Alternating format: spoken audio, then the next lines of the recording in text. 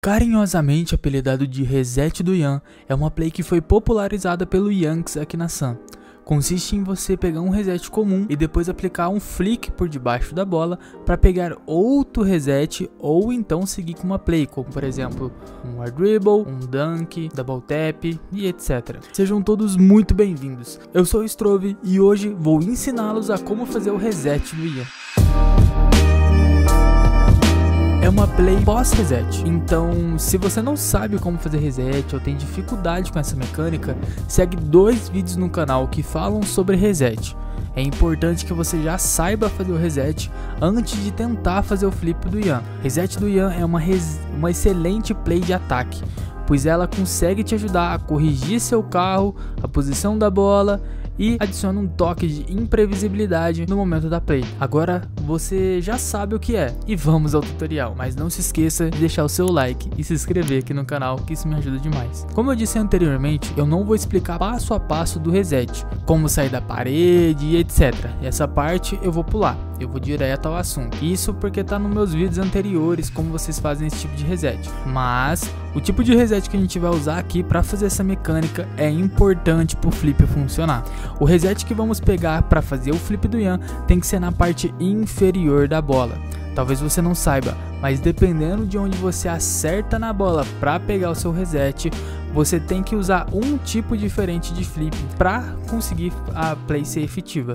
Precisamos que a bola suba um pouquinho ao mesmo tempo que seu carro desce um pouquinho. O flip do Ian é simples, mas requer muito timing. Então, assim que pegar o reset aqui, vamos girar o seu carro até que ele fique nessa posição mais ou menos em pé. Mas por quê? Quando você for dar o flip, você tem que bater na parte de baixo da bola, com a parte de cima do seu carro. Assim, a bola vai para cima e o seu carro ficará no mesmo plano por conta do flip.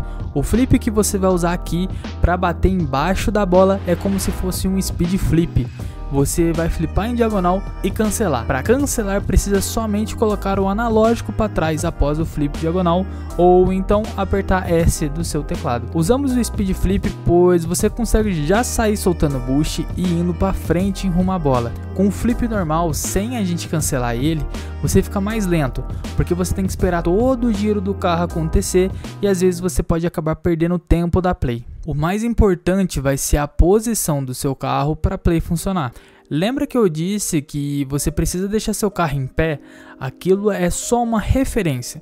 Você vai precisar deixar seu carro de uma forma que quando você flipar num ponto futuro, o carro vai bater com o teto na parte de baixo da bola para fazer ela subir. Então, às vezes, dependendo da distância, você vai precisar deixar seu carro um pouco mais inclinado para que dê tempo do carro dê o giro completo e gire o suficiente para que no meio do flip o seu carro acerte o teto na parte de baixo da bola. Com mais distante você está, mais inclinado o seu carro deve ficar. Com menos distante menos inclinado. Essa é a regra. Essa é a parte mais difícil e depois que você acerta esse timing, basicamente você fez o reset do Yan. O mais difícil é realmente saber essa inclinação, o tempo para usar o flip, porque depende muito da distância do carro, às vezes você não tem isso masterizado em você.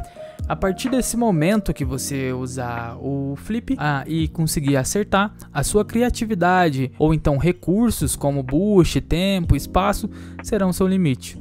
Você pode levar para um double tap, como eu disse anteriormente, para um reset, air dribble, block, fake, pinte com chão, etc. Um bom treino para vocês fazerem para que não percam esse tempo de bola é no free play mesmo. Isso aqui eu fiz durante muito tempo até pegar esse timing perfeitamente.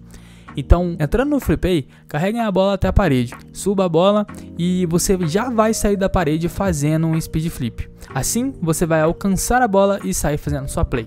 Esse treino é bem simples e eu já passei ele no passado uma vez. E o que, que ele te ajuda propriamente? Ele vai te ajudar a ter um timing na hora de flipar, pois em alguns momentos aqui, se você flipar cedo demais, você vai passar reto da bola. Outras, se você pular muito tarde, você não vai acabar chegando na bola e ou até mesmo vai acabar chegando e não conseguindo fazer muita coisa.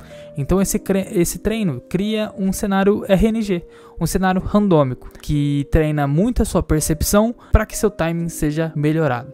E bom, esse foi o vídeo de hoje. Gostaram do vídeo, rapaziada? Se sim, peço seu like e sua inscrição, que me ajuda demais aqui no canal a continuar a trazer esses vídeos aqui para vocês considere virar membro aqui no canal se você puder, que você pode ter seu nome aparecendo aqui no finalzinho dos vídeos. Se você precisa de um coach também, pode acessar o primeiro link da descrição. Muito obrigado a todos, um abraço quente e tchau.